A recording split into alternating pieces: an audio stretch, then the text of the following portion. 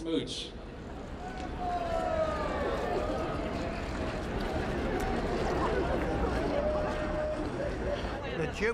La joie qui a explosé ici à Times Square et partout dans le pays à la fin de la guerre a été un soulagement après ce que nous avions vécu les années précédentes.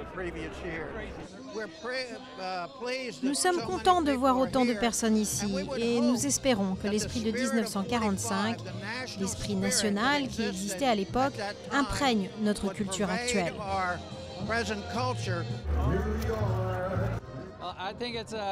Je trouve que c'est un très bel événement.